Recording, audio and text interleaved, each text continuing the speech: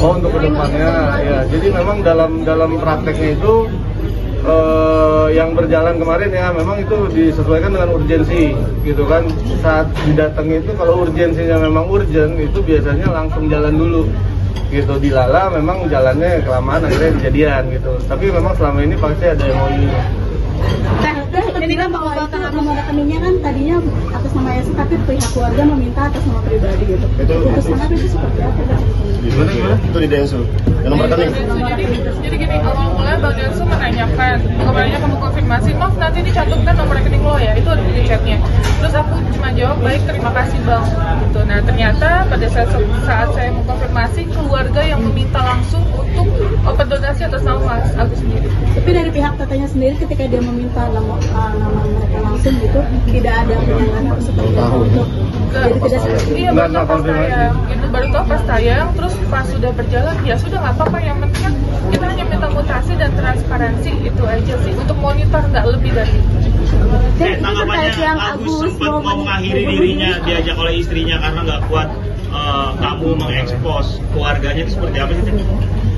Itu saya di luar dari kendali saya gitu karena yang kemarin-kemarin kita sebelum ada masalah ini saya selalu diminta ya mas diminta untuk ketemu untuk menenangkan mereka butuh saya saya hadir tapi ya ya itu yang terjadi. Nah, ini kan uh, Agus kan udah mulai sering uh, bolak-balik ke rumah sakit uh, didampingi oleh lawyer juga nih. Udah ada komunikasi yang maksudnya itu kan baru pagi tadi juga kontrol ke rumah sakit itu masih komunikasi pagi ini. ya ada komunikasi tapi kita berusaha selalu eh, berkomunikasi Tidak direspon. tidak direspon Berarti sudah menutup kontak, maksudnya dari segi Agus ke sana tuh udah mulai membatasi diri gitu. Membatasi. Udah nggak ada. Nah, itu untuk biayanya sendiri gimana? Karena kan dia juga pernah berpendapat bahwa capek gitu selalu harus confirm berapa pengeluaran dan segala nah macam. itu harusnya diakomodir sama kuasa hukum ya nanti mbak tanyain aja ke sana. Oke. Dikembalikan mungkin akan seperti apa teh? Gimana? Donatur yang minta dikembalikan. Oh enggak itu itu balik lagi semua apa pun itu jadi duit ini di- udah di yayasan nggak bisa sembarangan gitu kan mau donaturnya minta atau apa itu nggak bisa sembarangan. Dengan dinas sosial. Iya penting di sini tidak ada kepentingan pribadi, apa pun itu keputusannya kita ikuti aja. kita ikutin pemerintahan aja lah gimana. Oke.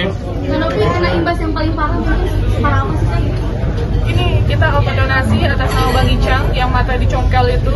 Eh, sekarang jadi banyak orang yang ngechat ke asisten saya untuk minta nomor pribadi ya Bang Icang. Nanti kita tunjukin bukti. Kita kasih.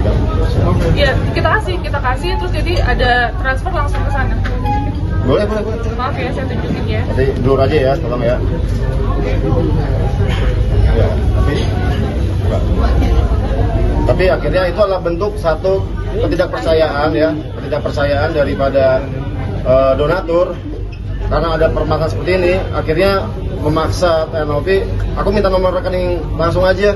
Ya, tapi Novi hanya memberikan nomor telepon, silakan menghubungi langsung personal. ke eh, istrinya apa Ke bukan ke adiknya. adiknya kepada Bang Icang agar supaya ya udah silakan komunikasi langsung aja.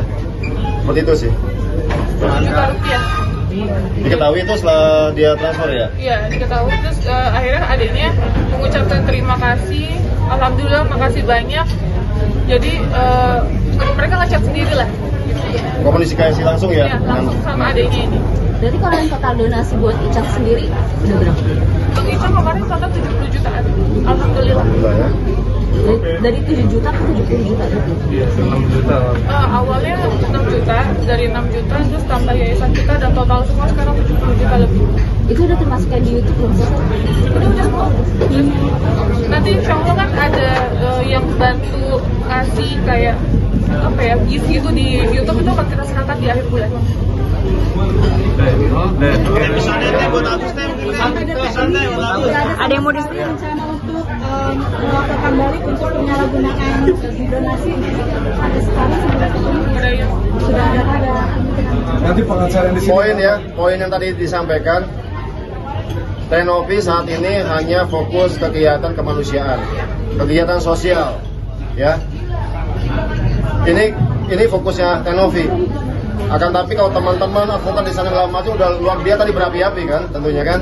kita kita intinya adalah berapresiasi kepada mereka. Tapi perlu diyakinkan dan ditegaskan di sini adalah apa pun itu yang dilaporkan Tenovi tidak ada ya.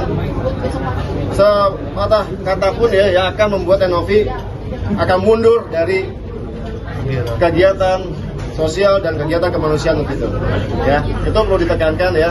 Mungkin nanti ya silakan langsung tanya ke Novi tapi itu yang ditekankan kepada saya berulang-ulang.